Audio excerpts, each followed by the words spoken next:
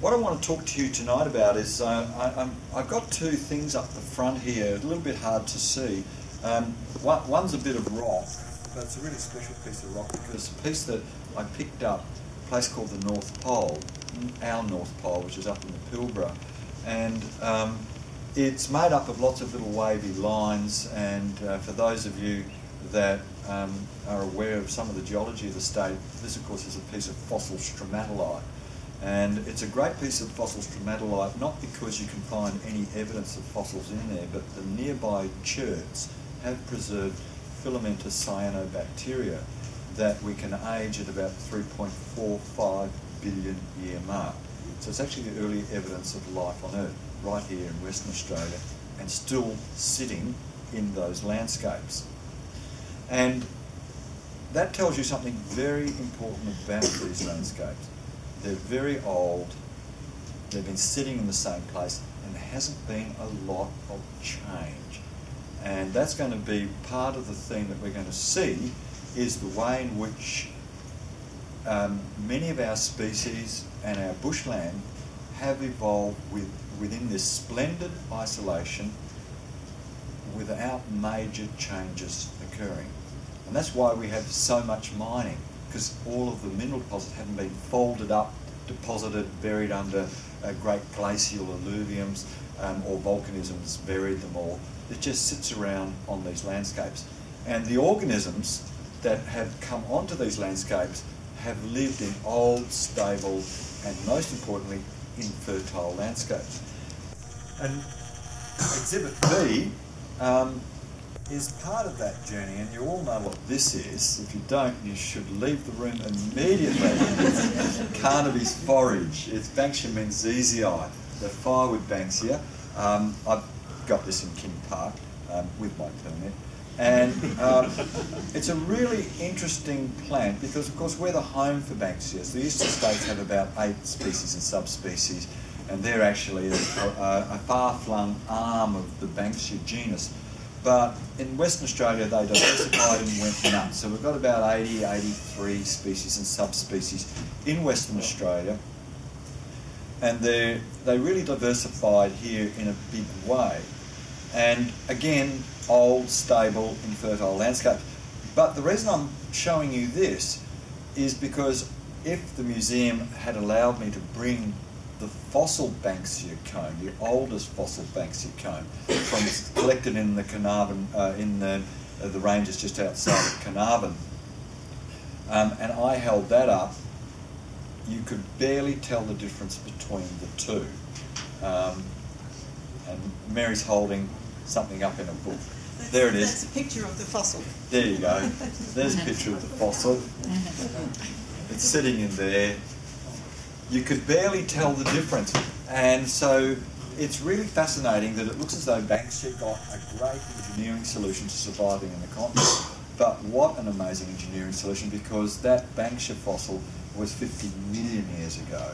And so the same engineering still works today. And I think I'm just using that as an example to get it set in your mind that we are dealing with a level of um, seniority in our landscape that you find nowhere else on the planet at all. And they're values that we're only just starting to appreciate. So let me now take you on a little bit of a journey through some of that and then talk a little bit about what we've done to these landscapes. And I am preaching to the converted uh, a little, I realise. This is a, an image, um, I dug it out today because it's one that I, I really love. Um, it's from the Holmes à Court collection. It, it's the, one of these wonderful uh, dioramas, panoramas that was uh, uh, painted in 1834 by a guy called Robert Dale. He was assistant to the government surveyor. It's a great image. Um, you can see good quality copies of this, but it's the, very much the European view of the landscape. They tried to interpret the kingias, like palm trees, um, many of the native plants, which you can actually almost get to the genus, are all very much stylised and pushed into the European form. And I use this as an example of the way that we started, even at that point, to misread the landscape because we thought everything was going to operate on a European time clock. You can see how that that wasn't the case. This is Georgiana Molloy, down in Augusta, 1840. I'll let you read that. But what an amazing woman she was. Um, it was only actually in the 1980s she actually had a plant named after her, long after she died, because she was one of these unsung great heroes. She was a great collector of plants. And the way she wrote about the bush there is, I think, the way we, when we walk in bushland, when you hear the talks and walks that are going to happen this spring, that's the sort of same joy. And you know, bush just keeps giving this great joy. And and given this is like one of the best seasons, particularly in the um, northern wheat belt area, I, I said to a group last week, I said if you don't go out and look at the wildflowers this year, you're not a West Australian. Pack your bags and go somewhere where we don't, because it is a stunning season. I had the great privilege to be outside of Mullewa recently, and it's it's beyond it beggars belief. So get out there and live a Georgiana Molloy moment. So she saw these values, and it's very interesting what happened to that whole value system that we developed as a culture as we moved along. And um, we've, we've had the ebbs and the flows, and sadly, most of the time it's been the ebb in terms of the, uh, the, the values that we've placed on these bushland areas. But Georgiana Molloy was looking with very simplistic eyes at the flora. Now, I remember when I started out my botany course at UWA, and I'll tell you the date, and then you can guess my age. I could have been a child prodigy, of course, but it was 1972, and I was lectured by a wonderful person, Neville Marchant, who um, was a guest lecturer, inspiring educator, and at that stage we had the princely sum of 3,400 plant species in Western Australia. We thought that was bloomin' good. We're of course now 12,000 which is just shows you how we underestimated and undervalued what we had. So again, we, we're developing the eyes to understand the richness. And if Georgiana Molloy had been able to go up to this tick-infested little patch of scrub heath um, at a place called Mount Benia, it's the largest privately owned bush reserve, six square kilometres of perfect intact heathland, several DRF species, um, on the property, so it's got its own endemic species right next door to Mount Lesueur. Think of that, six square kilometres, and it's stunning. And we have some major research plots there, and these are some of my uh, some of our German colleagues, and we've got major study sites up there. And um, um, they were saying, "Oh, you have such an interesting flora. It's so complex. It's so rich." Um, and I said, how rich do you think? Oh, it's just like our southern Bavarian grasslands. I said, okay, let's do a little test. So I plopped myself down not far from here and I said, within arm's length, I will sit here and we'll see how many species I can collect within arm's length. And these are the, some of the things we collected within arm's length. And we got 80 species, just on 80 species, just within arm's length. And with that, they went with their tail between their legs back to the Bavarian grasslands to try and get those over species. But it's a wonderful example of just what we have when you bother to embed and immerse yourself and start to try and interpret. Of course, this is the great mission that we all have is to educate people that that bit of scrub that we were knocking over in the 70s um, with Guy Bannon. It's the 50th anniversary this year of some of the big land releases in that northern corridor, the tragic discovery of trace element deficiencies. And it was a tragic discovery, meant they could open that land. It's the 50th anniversary when we saw that as scrub. Of course, we now know it as a much more different and rich area. And these are some of the species that we have the great joy of living in this biodiversity hotspot. We are called a biodiversity hotspot not because we've just got the most fabulous wildflowers on Earth, that's important, but it's because we've also lost 60% of the landscapes on which they sit. It's a classification of threat. So it shows you that we have important things. And some of these things are really top class. Many of you will know the good old Albany pitcher plant. It's one of my favourites. I, I did my honours degree working on carnivorous plants in Western Australia. These are the droseras and the bladderworts and, and the rainbow plants, amazing species. And why did I work on them? Because we actually are the richest place for insect well, animal eating plants on Earth in the southwest. We had more species of plants eating animals in the southwest than all of the species of animal eating plants for the rest of the world. It's all here. And Darwin, who was absolutely besotted with two things orchids and carnivorous plants, had he bothered when he came on the Beagle to Albany and got off and went over to Lake Seppings and had a look at the last remnants of the then summer sundews, he would have realised there were rich things happening, and he would have also seen Cephalotus growing there. And why is this important? Because it's a single species in a single family, totally isolated, a climate refugee from the Gondwanan split. We think this is going around the 20 to 30 million year mark, still sitting in Western Australia. Perfectly happy, living in its little micro refugia that are like stepping into a piece of what we think would have been Gondwanan rainforest. Very damp, very wet, and of course it's one of its great, uh, one of the hints to its ancestry, it grows during summer. So I've got pots of these at home. The days are getting longer, they're getting warmer, and I'm starting to get all the pictures starting to develop. I'm going, ah, there you go. You're, you're just a little tropical refugee. But monotypic families, as we refer to them, are really rare on the planet. And we've got others as well. Emblingia. Now, anyone here know Emblingia? the education system. Emblingia, a single species in its own single genus, in its own single family, all isolated in a little patch of country up around uh, Lake Indoon. You'll find it up there just near Eneabba, north of Jurien Bay. I get to take whole uh, busloads of keen professional botanists just to go and pay homage to this little prostrate ground-covered plant. It is a far-flung ancestor of campanulas that somehow got lost here, we think about 80 million years ago, and it's remained, and it's the sole member of that entire lineage, still living, perfectly happy, stuck up on that sand. But there are more interesting things, I think, that tell us exactly how old we are and how stable this environment's.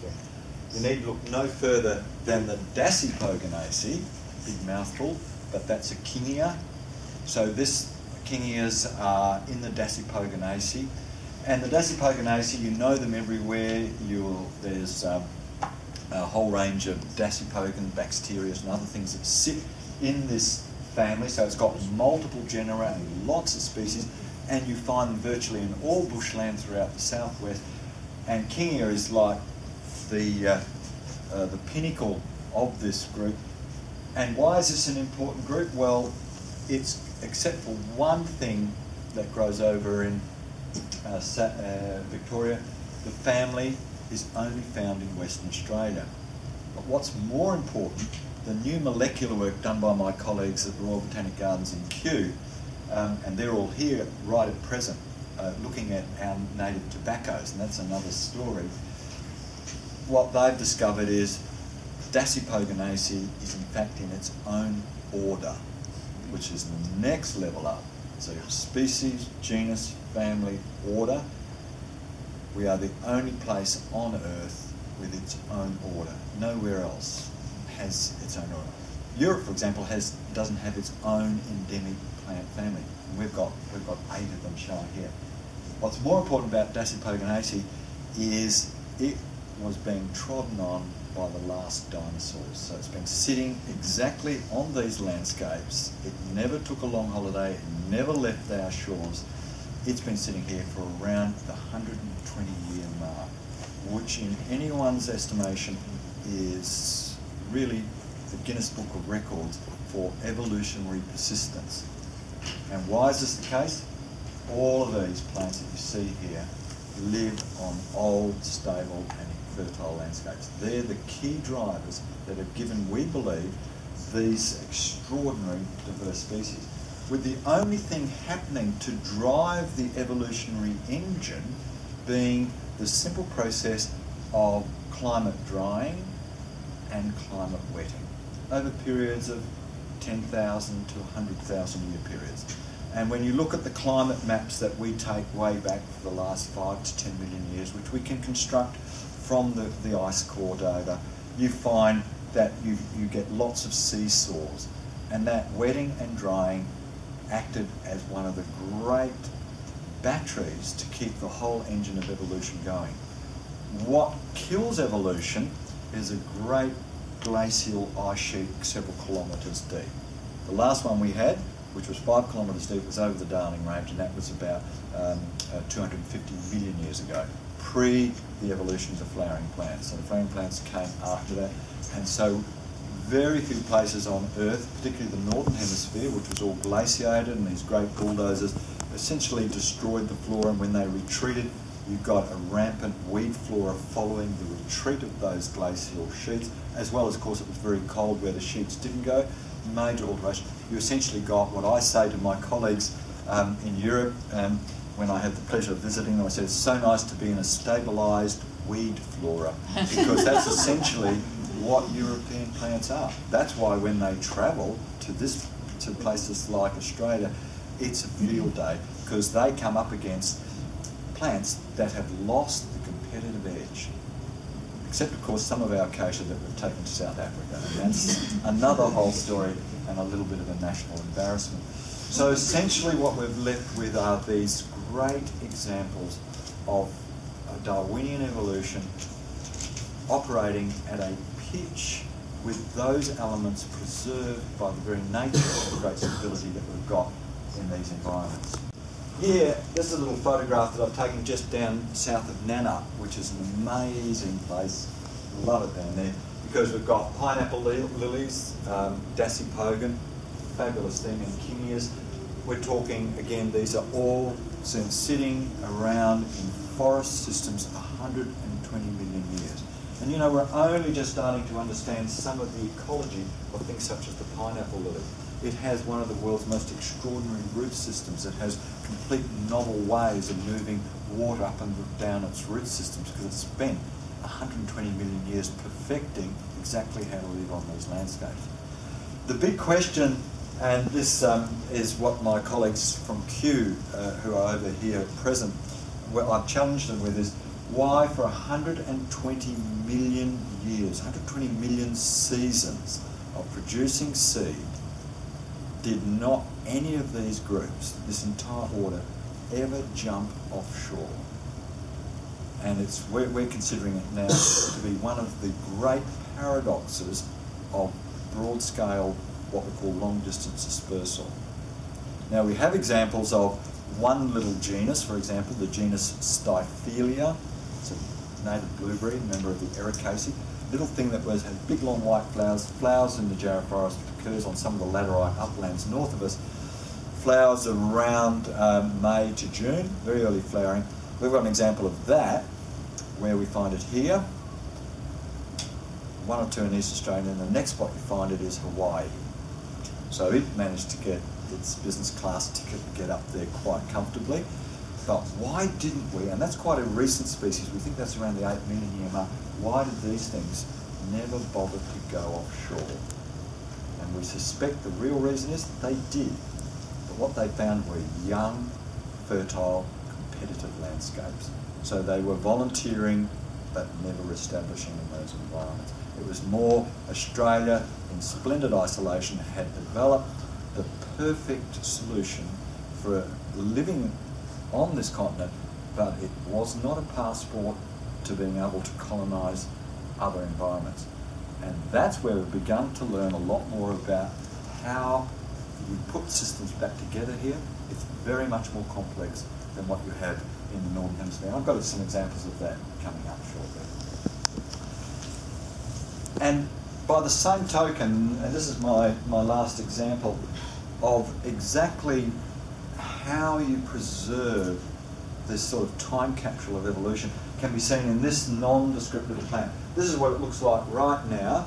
This is growing out at Cannington Swamp, the Alison Baird Reserve. It's also in Brixton Street wetlands. If you can find it, you're very good because it took a, almost a year uh, um, in two winter periods for us to finally get our eye in for this thing. It's in the It's the genus Trithuria. It's in the in, uh, family, the Hydatellaceae. I'm only giving you all this for completeness sake.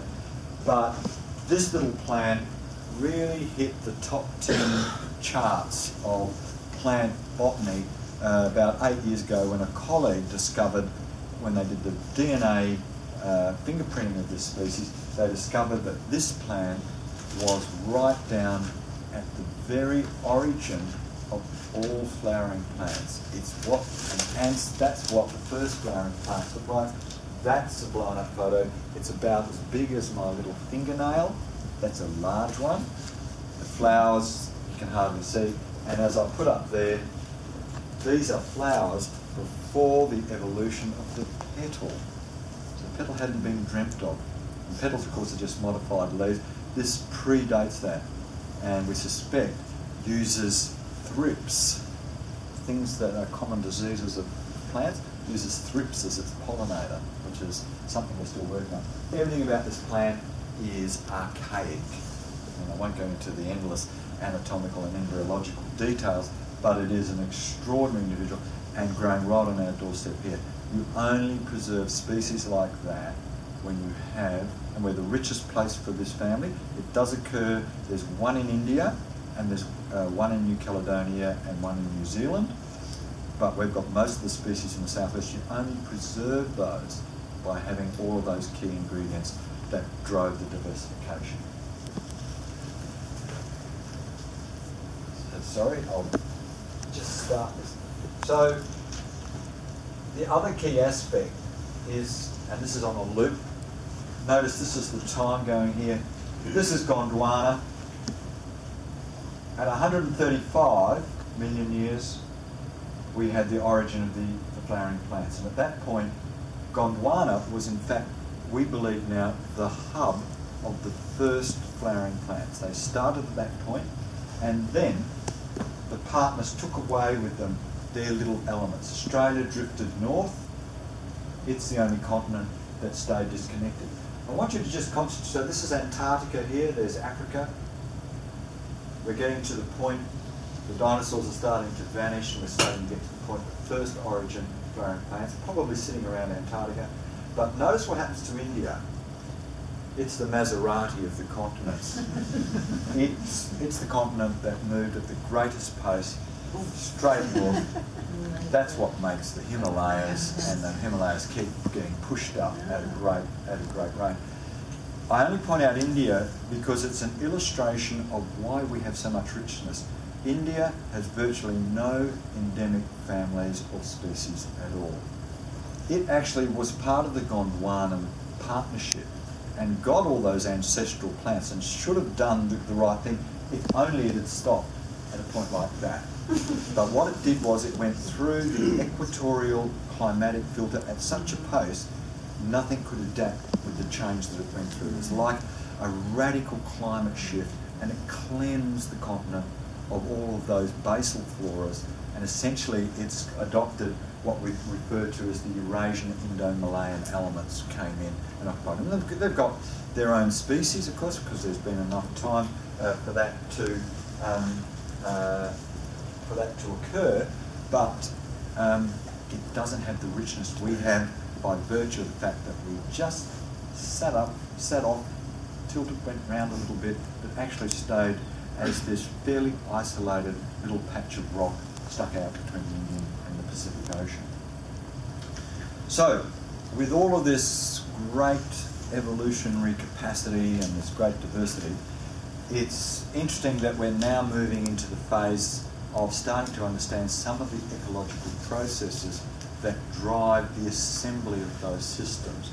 And the more we look into this, and I use this example, this is Colin Yates, who's a wonderful ecologist who now works for DPaW, but uh, when he was working with me, uh, we did an assessment of a, a jarrah tree in Kings Park. This is work uh, that goes back a number of years, but it still holds true. If ever you get asked what's the value of an urban remnant tree, well, this will tell you.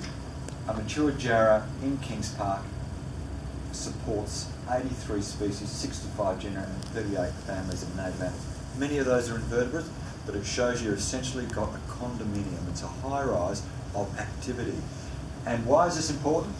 Because if you look at something such as these thynnid wasps, these are all the sexually deceived male wasps that operate on our orchids in the southwest.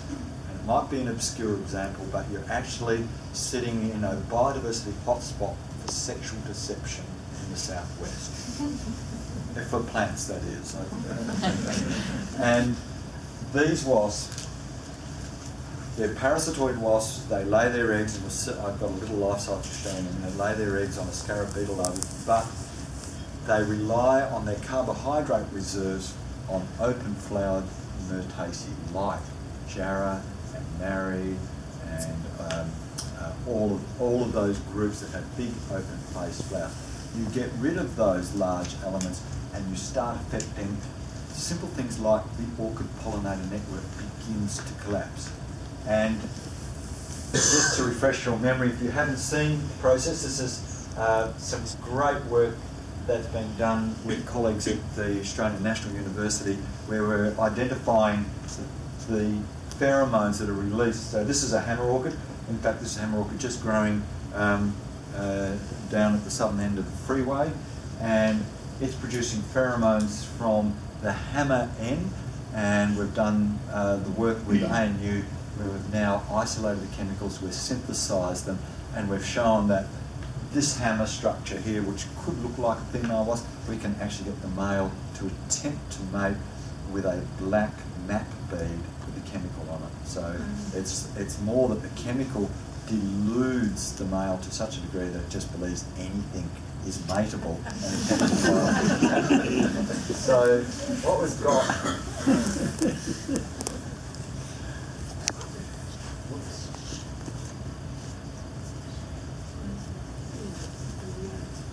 and you'll see it's got an elastic hinge. The wasp does this, and it's this perfect positioning of, of the pollen with the wasp. And so alluring is the pheromone, you can see an awful lot of other males are also trying to get it. And you'll see a male there with a little number tag. We actually number them. He was a particularly good male, that one. Um, and so all of these wasps rely on the carbohydrate reserves from things like jarrah to keep them going and surviving and retaining their life cycle.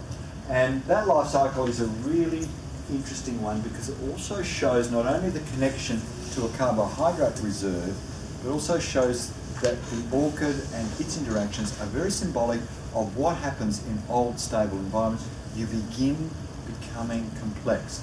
And what we've got is not only the sexual deception, like I said, we've got more orchids here that use sexual deception than the rest of the planet combined. But the orchid itself, we now know, and it's a bit hard to see down here, but this orchid uses a special fungus and all the hammer orchids use their own fungus for germination. Although it's got a green leaf, that's for making carbohydrate, making uh, photosynthesis, of fruit photosynthesis, but it gets all of its nutrients via a fungus that gets it from the organic materials in the soil. And if you put the fungus with the seed, which is dust-like, you get this spontaneous germination. And that halo of white material you can see there is in fact the de facto root system of those baby orchids. Then connect it through to what we're now piecing together is the life cycle of the wasp, and things become more complicated. There's our token member of the eucalypts. The male wasp takes his flightless female for a nectar feed because she needs the carbohydrates to be able to dig down the 20 to 30 centimetres to find the scarab beetle larvae on which she then lays her single egg. She then digs her way back up. She'll do this about three to six times, laying that amount of time before she actually begins to fall to pieces because they get all their protein resources from that scarab beetle larvae where they were born and they only, they only have carbohydrates. And so for about their six week flying period, this is all that they are built to do is to reproduce and the orchids have learned in that six week period overlap your flowering time and you have a very effective pollinator. Now this is highly specialised and you think, gee, this is all going to fail, but it works well in stable environments. It works well that we know that the scarab beetle larvae only works on the root system, decaying root system of certain native plants, because they're always here. We know that the wasps are perfectly comfortable getting their nectar resources because it always has been. That the fungus, although it's a highly specialised and our slowest growing fungus recorded in the orchid family, that's a big family of flowering plants, although it's slow growing, it's the best adapted for the white sand lenses where hammer orchids grow. And importantly, that fungus relies on that specialised environment to keep it and the orchid in perfect harmony. Put all that together and you can see there are lots of failing points in the system where if you, for example, don't manage the native plant that supports the scarab beetle larvae, you'll quickly lose the wasp. Your orchids will be then facing what's called the extinction debt. That is, the orchids will keep coming up each year and flowering, but they won't be pollinated. Keep it intact, and the system's remarkably successful. These orchids have some of the most successful pollination rates recorded in Australian orchids because they guarantee what's called outcrossing. And they produce a single flower, and there's almost 100% chance that you'll get seed set. But it's a high risk strategy, not though if you're stable and have a long period of standard isolation. Now, sorry, I gathered this um, slide from somewhere else, and it's, it is my slide. Um, I wanted to finish up with, with talking a little bit about where we're at in terms of the repair of landscapes and some of the losses that we've had in these landscapes. And I had the, the great joy um, last August to have a joint billing with, with this lady, who many of you will know. Don't need to introduce her. Nobody knows her. Germaine Greer, yeah. And um, uh, it was really interesting. I told some uh, um, uh, people in Perth, I was at a, at a, at, a, business lunch, I said, oh, I'm, I'm speaking with Germaine Greer next month. And it was extraordinary. It all came out, all the stuff, you know, from um, uh, her books and, and all of other ways. But she, she spoke to me and she wrote this, that she's seen this country through the, through the eyes of somebody who has been in other battles and saved and worked on saving other things. And she's now had an epiphany. She's now restoring a major piece of uh, uh, wet forest in eastern Australia. And she sees now the greatest battle for this country is Australians connecting, protecting and enhancing our natural resources. And really eloquent, I think we're going to see a lot more from her. And and why is this important? Because this is today's newspaper, if you saw it. Um, terrific, terrific to see that getting page nine. Uh, uh, it's extraordinary. Olympics are over, I guess, is the reason. good on that. But, you know, these, we, we sort of, it, it falls off the tongue, doesn't it? 16 mammals extinct, six in the past uh, 15 years, four species um, in the last year. Uh, extinction is an extraordinarily devastating concept. If you talk about the extinction of the human species, I'm sure we'd do something quick about it. And I have the, the great honour to sit on the Federal Threatened Species Scientific Committee. This is the committee that um, decides on the species that get listed for federal listing. So this is where Carnaby's comes from, and we get the protection of many rare and wonderful plants and ecosystems through this committee. And the work of that committee is not only astonishing in terms of the scientific rigour in the process, but it's also just heart-wrenching because the workload just keeps increasing and it's astonishing. But in some respects that workload is stuff that as an Australian and as a biologist I'm absolutely delighted to be up to 1am reading my seven to 800 pages before each meeting because there's voluminous, but it's, it's needed. And these are some of the animals that we sadly as a committee can't do anything about to protect, and we've lost them. And we will keep cranking up the extinction, or putting our foot on the extinction accelerator, if we're careless and continue careless behaviour. Uh, speaking to Piers a moment ago about the Green Growth Plan, euphemism for something which I'm not quite certain what, but they are very much, um, as we were discussing, I said, it sounds very 60s. He said, I think it's more 70s. Um, um, it's, it's very much where we were, but we're now on a new journey to, to a new place. And the Underwood Avenue bushland, and I was just looking at it today, and now that I'm no longer a public servant, and apparently now a noted scientist as of last week, um, um, I did my honours degree in there, and I thought it was an astonishing piece of bushland back then. And I think there is no way we as Australians should be losing one square centimetre of these last precious, precious remnants. Everything sits on a knife edge because things have always been in these stable environments. We've, we've arrived with large scale changes and we're not doing enough to repair and bring those back. And of course you can see that this is, I've only got this up to um, uh, 2005, but it shows you the unrelenting urban spread of Perth so that we're um, one of the most sprawl-based cities on Earth, 170 kilometres from north to south. Uh, a colleague of mine with the uh, unusual first name of Storm, but his name's Storm Cunningham, and he wrote uh, a book called Re-Wealth, well worth having a look. And he referred to when we were chatting and he was doing the research on his book, he said, You are really the home of what he calls degenerative wealth. That is, wealth created by degenerating the natural capital on which we live. And you don't need to do that. And of course, we, we now have, have wiser eyes. And um, but this is this is a little sobering reminder because this this is me. That's a bulldozer, and you'll see I get ordered out. Yep, there you go. Bugger off! Who are you? That's a little place called Honeywood. You heard of Honeywood? fabulous piece of Banksia woodland. I was there, devastated, got that little bit of footage, and I thought, isn't that amazing? Just two years ago, we're still knocking over Banksia woodland. And I just think, how tragic is that?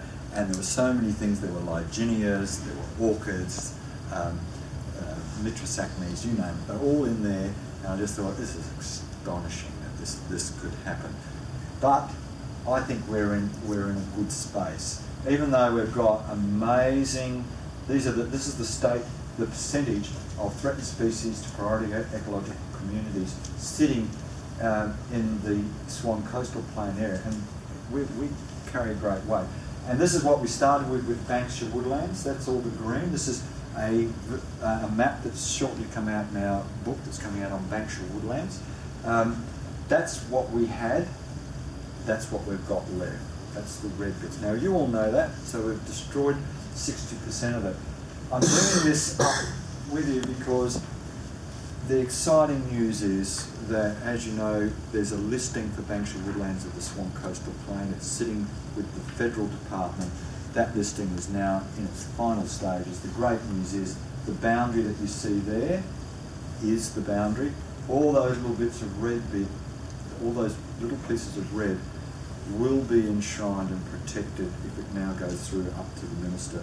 So we're very close to finally saving the last 40% of our Banksia woodland. So the little bit of honeywood that we saw happening, I hope that that is consigned to the archives along with a lot of other footage that uh, of past uh, devastation that we've done.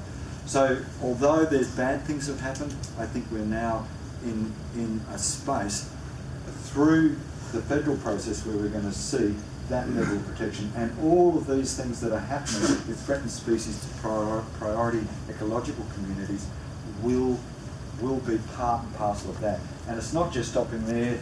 There's now a proposal to list all the tuart woodlands, and I would encourage any other people who want to talk to me about what is the listing process and how to do it. It's very complex, takes a lot of work, um, but it's a great mechanism and it will provide every little patch of Banksia woodland with the same protection that Carnaby's has. That's very powerful in the scheme of things for a rare orchid.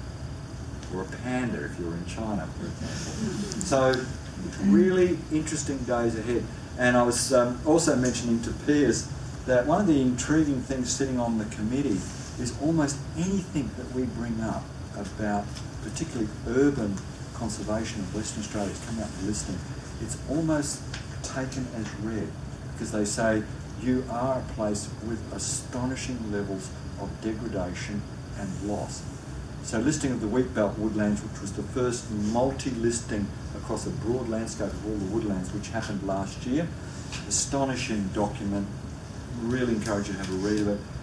That would not have happened 30 years ago, but it was it sailed through with less than an hour's debate on the merits of listing the wheatbelt woodlands. We all know they're essential and critical, but nationally it's very clear that Western Australia uh, has a very sad tally, and so the process is very clear. And this is my own personal experience. Can you hear that? This is my own 160 acres which I took over last November. I didn't know it, but I have all three cockatoos. Wow. Um, the, the red tails, annoying. I just wish they learnt to go to sleep at a reasonable time. I've got two large lakes on the property, which of course are prime water sources. This is uh, in the hills just above Waroona. So that's one of the highest points above Waroona. Um, the property extends over the back. And I took that just um, a week ago because 170 Carnaby's arrived to sit at the lake. And I was like uh, astonished. And, I, and looking at them, I was not only overjoyed, but also reminded that we had corralled them into these last vestiges. And I, I, want to leave this planet knowing that we have preserved and protected them. That Banksia woodland listing is probably the biggest single gift we could give to Carnaby's at this point in time. With the other side being, we should buy all the macadamia and almond plantations in Western Australia and hand them over because that's a wonderful temporary forage resource and it's something I've been promoting with a number of people. Instead of doing offsets, let's just buy the macadamia plantation, let's buy the, the enormous almond plantation, the pistachio plantations out encourage it, which Carnaby's think is it's absolute junk food for them, but it's such critical food and they get high calorific value for very little effort.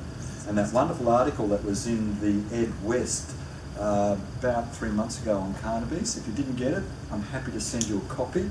I've got it, which talks about the effort a Carnaby's goes through to chew through either a, a Banksia cone or a marri nut and the small amount of energy it gets out. So that's why I'm saying if you don't have macadamias and pecans in your garden, plant them now because Carnaby's will love you forever. Little we have left is well worth protecting. This is work that we've been doing now for the last 11 years in Kings Park. It's something that I picked up that we were losing our remnant large trees in all of our bushland.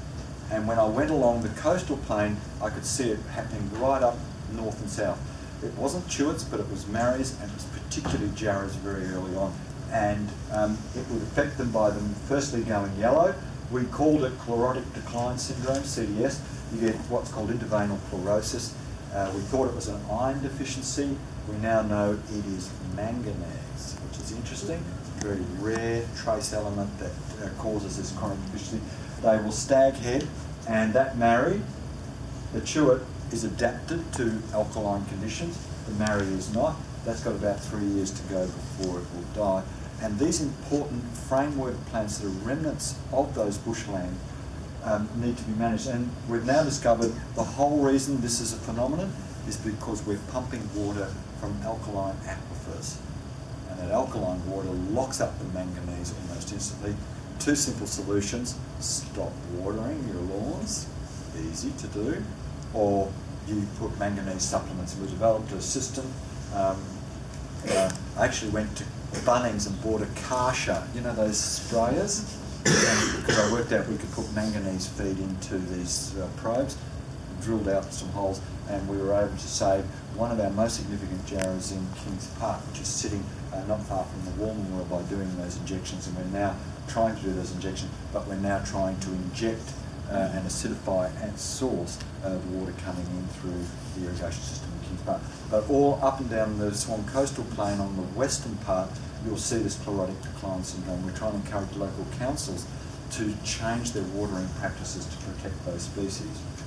Now this is very controversial and I would never have used this slide before, but I can now. um, this is the view from my house. I, I, I live in City Beach and lived there for a number of years and I anguish each autumn and I anguish during winter and spring when I have to put up with those sunsets. They are a new threat that's pervading our landscape. It's easy for ministers to give, this was something in June 2015, $20 million to a traditional burning program. I always say to people who come and say, wow, what a wonderful sunset, I said, no, that's our biodiversity sitting up there. Why is this a bad thing? I don't think in evolutionary history we have ever had winter and spring fires that this that our ecology and our species have adapted to. It's fundamentally logical to any thinking human that you don't go into an English bluebell woodland during bluebell season and chop it all down because you say when it dries off it's all going to be dangerous. But we do it in our bushlands everywhere and it seems to pervade the psyche. Sure, protection of people and asset is paramount and important, but this, I think, is an unforgivable travesty that again is a careless disregard for the sensitivities of the ecology of this state. And I, I, I put it up to remind us all, whenever you see that smudgy sunset, think of the plants and the animals that are up in that smoke. And I think it's time we start taking stock. I can see papers in 50 years' time being written about this time, about what we did to these landscapes, e.g. prescribed burning at the wrong times of the year that have led to localised extinctions. And why is this, uh, uh, why do I speak with a bit of authority? Well, I'm going to give you an example from Kings Park. That was 1939, the distribution of veld grass been introduced much earlier. That's it in 1987. The size of the hole show you how much there was. Why did it happen? Because between that period and that period, they started to burn. Mm-hmm. And they were burning on rotations of three years. They were all spring ignitions. Now, Veldtgrass is just an indicator. We used it as a map, a surrogate of mismanagement. And we, in fact, converted what was at that stage because we've got the detailed transects from 1939. An ecologist called Alison Baird mapped big transects. We found them in the archives and we were able to go back to her transects, which were over in this part of the park, and retrace her steps almost to within the yard, because she used yards on the measures. And so we know, and she wrote from 1930, from 1939, we then did 60 years on in 1999, we reassessed that bushland um, to find what had changed. Now, sure, Veldtgrass had changed, and that was the work that um, was great work that Bob Dixon did to discover the selective control of Veldtgrass. But what we discovered from 1939 to this point here is that there's a whole lot of species, native species, have gone missing. Now, it wasn't the Veldtgrass. Veldtgrass was a symptom of the burning patterns, but it was the scale of the burning, the frequency of the burning and the timing of the burning that took away all of the fire-sensitive ericas. So these are all the leucopogons, um, uh, some of the cedar astrolomas, um, many, all of the non-resprouting herbacées went. We lost our hibanthes from that part of the park as well. All those sort of things went and we knew they'd gone because she recorded some of those, but also our reference communities that we've started to use had all those species. And we know we can link that directly to the impact of prescribed burning. So a careless action like that has permanently altered the face of Kings Park. We're now doing a big study on native bees who depend upon those species, and we're going to be comparing this remnant to intact remnants to see because native bees depend upon those species for their nectar resources to see whether what happened in this trajectory here actually has led to the decline of those native bee communities. And my guess is probably they have, because native bees use different resources at different times of the year. Now also that level of carelessness can mean you get other consequences. Alison Baird, um, back in uh, by the late 50s, wrote a paper about the impact of burning increasing the abundance of Allocasuarina in Kings Park bushland. And this is the 2009-10 drought season. Um, again, I'm not a public servant. I wasn't allowed to show that image up until now. Um, uh, the minister said this is uh, un, uh, what was the words? Uh, an unnecessary, um, uh, an unnecessary situation, and we'll move on. Um, and this is Allocasuarina fraseriana, massive death. You can see already that we've lost some of the bigger, so this was a large jarrah, long gone from that system, uh, just a stag sitting there. But that system had been lurched into a particular carrying capacity of Allocasuarina because of the high fire frequency. So casuarina is a seed producing species and a resprouter, so it goes into an abundance cycle with high fire frequencies. Not all species with those attributes do it, but this is one of them. And its carrying capacity was far in excess of what that bushland could carry for the water availability, particularly when you started moving into climate changing scenarios. And as a result, we just got this radical collapse in the canopy. It also, because of that high carrying capacity, it of course was smothering out a range of other species. And we know Jarrah, we know our marris, but importantly, our four key Banksias, which are Menziesii, attenuata, um, grandis, were in decline, with grandis the next species to go, and Ilicifolia down to the last two specimens in that bushland. And yet we know from 1939 that Ilicifolia was all over the southwest portion of the park. Gosh, careless management has had major consequences on this great icon. So, to conclude with, I started by talking uh, about uh, Olmsted and that, um, and we're going to finish up with a European landscape, so that's fine.